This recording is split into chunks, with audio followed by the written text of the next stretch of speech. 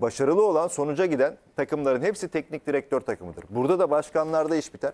Bu konuda Ahmet Ağoğlu'nu çok tebrik ediyorum. Geçen sene ciddi manada eleştirmiştim. Hani o Alanya Spor maçından sonra yaşananlar şampiyonluğun Başakşehir'e kaptırıldığı sene. Yani yanlış yönetimsel hamleler yapıldı yönetim hamleleri. Bu sene o kadar müthiş bir performans gösterdi ki Ahmet Ağoğlu. Ne yaptı hocaya? Anahtar teslim. Dedi Mehmet Ali Yılmaz testleri sende hocam. Futbol takımı sende. Biz buradayız. Gerektiği yerde çıktı kendini gösterdi. Ücretler ödendi. Tam bir başkanlık profili sergiledi. Anahtarı teslim ettiğiniz zaman takım da şunu bilir. Burada bir tane komutan var. Kim? Hoca. Hoca geldiğinde Pereira'yı kadro dışı bıraktı hatırlıyorsunuz. Evet. Ve sağ beke ihtiyacı var takımın. Yönetim dedi ki yapmasak mı hocam? Hayır dedi hoca.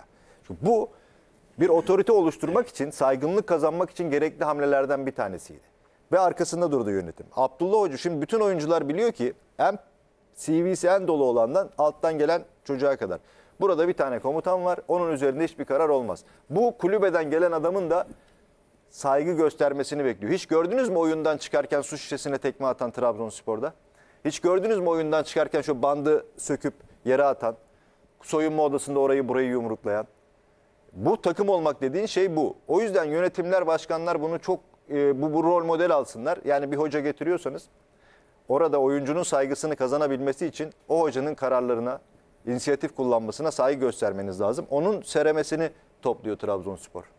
Peki maçın yıldızı diyebiliriz Abdülkadir Ömür'e. Ee, e, iki golle yıldızlaştı. Yine performansıyla da aynı şekilde. Ee, mücadele sonrası açıklamaları var. Neler söylemiş bir bakalım. Evet e, açıklamaları çok güzel. Bir yandan konuşurken takım arkadaşları da şakalaşıyor onunla. O da zaten e, aralarındaki bağdan bahsediyor. İzlerken özellikle vurguladığı şey altyapıdan yetişen e, takım arkadaşları kendisi gibi. Onların e, onlar için bu gelecek şampiyonluğun kıymetinin çok daha farklı olduğunu söylüyor. Hayalimizdi bizim diyor. Ya gönül ister ki parmak da burada olsaydı. Yusuf da burada olsaydı. Tabii. Hani bu takım altyapısından yetişen çocuklarla daha fazla isimle keşke olsaydı. Onlar da çok çabaladılar. Ama e, nihayetinde hala e, devam eden bir süreç var ki Abdullah Hoca da vurgu yaptı. Bereketli topraklar diyor. Hakikaten bugün mesela oturup şöyle bir geriye bakalım, düşünelim. İddia ediyorum ben her spor kulübü, her futbol kulübünde Türkiye'deki yıldız sayabileceğin oyunculardan bir tanesi Trabzonludur ya da Trabzon kökenlidir. O takımın teknik direktörü Trabzonlu ya da Trabzon kökenlidir. Ya da o takımın eee, ekibinde bulunan yani sportif direktör olur, başkan olur. Mutlaka bir tane Trabzonlu vardır. Evet. Sadece futbolda değil. Hatta abartıyorum. Sen de Hatta Trabzonlusun. abartıyorum. Abartıyorum. Trabzon ve Trabzon kökenleri çekelim. Geriye çekelim. Annesi ya da babası ya da dedesi Trabzonları çekelim. Buyurun futbol oynayın bu ülkede. Yerli oyuncularla. Çok iddialı. Ama şöyle bir şey söyleyeyim. Niye? Yani, e, Hadi buyursunlar. bu anormal bir durum değil. Niye? Bölgede başka takımlar da var. Ama şimdi Trabzonspor dediğin zaman e, 1960'ların sonu 70'lerin başı ortası 80'lerin ortasına kadar gelen bir futbol kültürü. Hatta ta idman ocaklarına kadar dilerim, zaman. Trabzonsporlu demedim bak. Trabzonlu dedim. Orada e, Normalde ben- Akçabat'ı da söylüyorsun Hayır hayır aslında. normalde bak hayır hayır, şunu söylemeye çalışıyorum. Normalde ben Trabzonspor'la Trabzon'u ayrı kullanmam. Ama Sen şehirden Trabzonlu olup başka takımları tutanlar, Trabzon kökenli olup başka takımlara gönül vermiş olanlar vardır.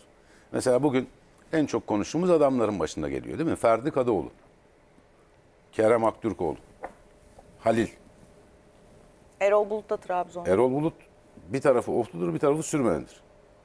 Emre Belezoğlu. Aa onu bilmiyordum. Emre Belezoğlu da bir tarafı Trabzonludur. Evet evet. Yani buyursunlar incelesinler.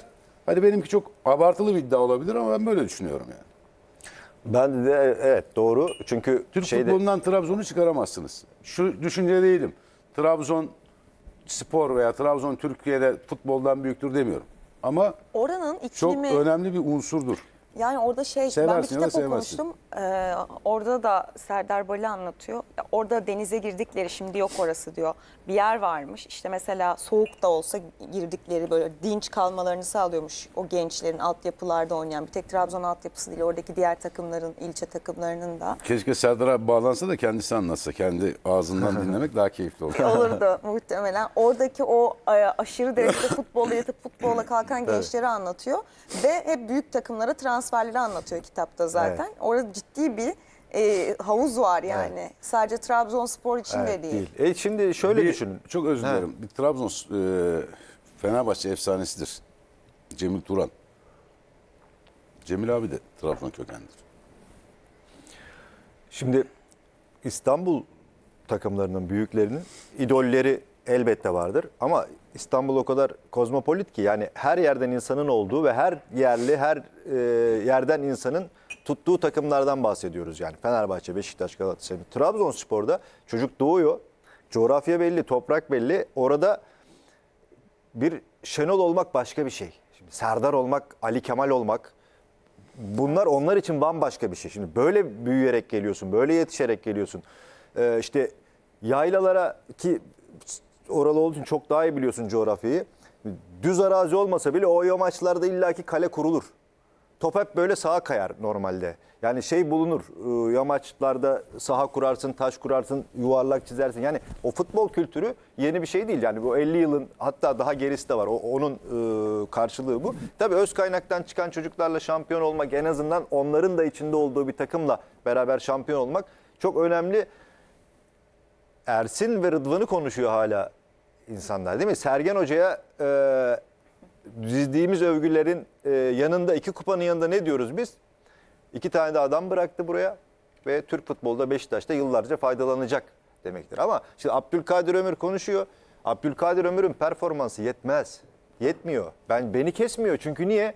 Bizim ondan beklentimiz Daha çok fazla. başka bir şey. İlk Abdülkadir Ömür çıktığında oturup ağzımız açık hayranlıkla izliyorduk çocuğu. Böyle iki sene bir nadasa bıraktı kendini. Niye yetmez diyorum? Yeterli görmesin diye. Ben Abdülkadir'in bir Avrupa serüveni görmesini çok istiyorum. Evet. Trabzonspor'da evet çok güzel işler yapıyor, şampiyonluğa katkı yapıyor ama siz çıktınız bir e, Allah nasip ederse bir Şampiyonlar Ligi'ne girecek. İşte Atletico Madrid maçında bir 25 metre yaptınız. Attınız, bir depar yaptınız.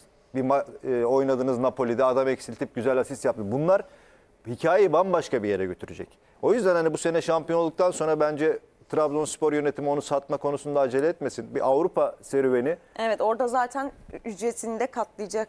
Bak Kerem Ak- Aktürkoğlu'na iki depar gruplarda yaptı, milli takımda yaptı. Yani sizin burada tabii ki Kayseri Spor'a yaptığınızda kıymetli, işte e, oynadığınız zaman Göztepe maçında yaptığınız da kıymetli. Ama hani uluslararası arenadaki göz önünde olduğunuz yaptığınız maçlarda kıymetinizi bambaşka bir yere götürüyor. Niye yeterli değil diyorum Abdülkadir Ömür? Çünkü fazlasını yapabileceğini biliyorum, Ya ben potansiyelini biliyorum. Burada O bir ara düşüş olmasa belki şimdi çok daha farklı bir ya yerde. yıllarca ben burada küfür yedim Abdülkadir yüzünden.